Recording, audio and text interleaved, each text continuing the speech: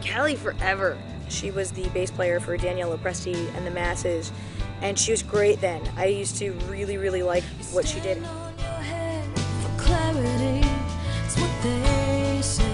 I'm Kelly Bowen and I play bass. Francesca was kind of the Kelly Bowen fan club at that particular venue. She would always gather up a bunch of people and like park it right down in the front. I was like, who's that? Why is this person paying so much? Okay, that's cool. I actually pulled the entire bar to go watch her. I pulled everyone off the patio and I was like, you guys have to come see this chick bass player.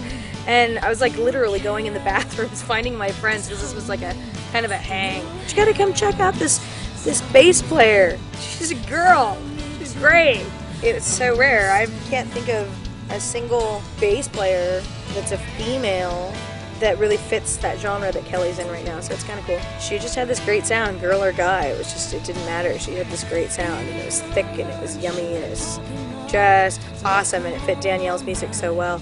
And I, it never occurred to me. This is like seven years ago. It never occurred to me to use her. I had a bass player. I loved my bass player.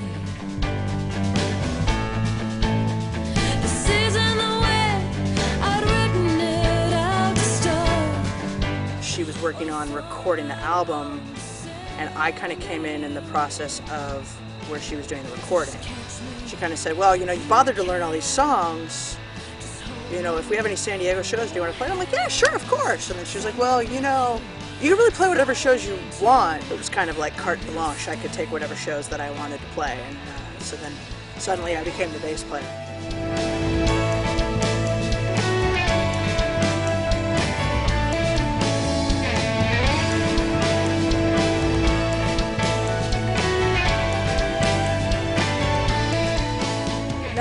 went to school for what we do, except for Kelly. Kelly's the one that went to school for what we do.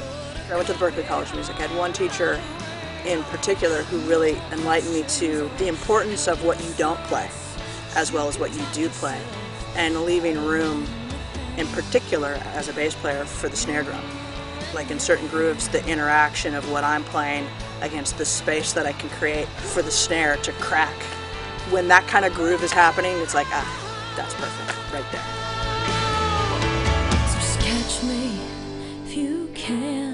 I'm fundamentally a groove player. I'm not looking to get in the way of the vocals, not looking to get in the way of lead guitar, and I'm trying to bridge those things together with like the rhythm and harmonic aspect.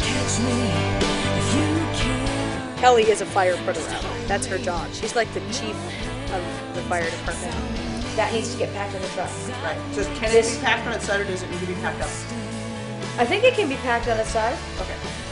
Even tonight we said at rehearsal, if something goes wrong, call Kelly. It's an interesting thing because I want to say she's the captain of the ship, but she's not. She does what I ask her to do. She's just a great team player. She's a great first mate. I guess that's the way to put it. She's awesome at that stuff. She definitely helps with the business end of things. She's got a lot of contacts. She sends out a lot of press kits. She does a lot of that work. Bands are a lot of work to get going. The more people who are willing to step forward and put in a little extra effort, it, it helps a lot.